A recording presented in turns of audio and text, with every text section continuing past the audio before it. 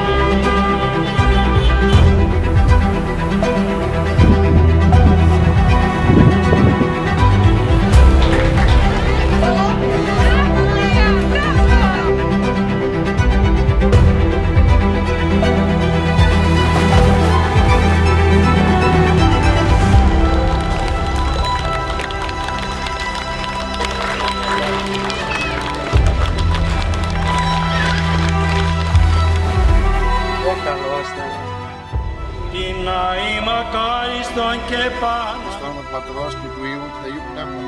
Αναπονίζω και ο δούλος του Θεού Γεώργιος και του δούλου του Θεού Αναστασίας στο όνομα του Πατρός και του Υιού και του Αγίου Πνεύματος.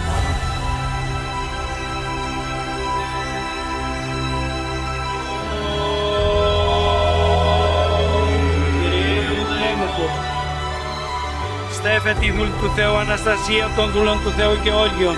Εις το όνομα του Πατρός και του Υιού και του Αγίου Πνεύματος.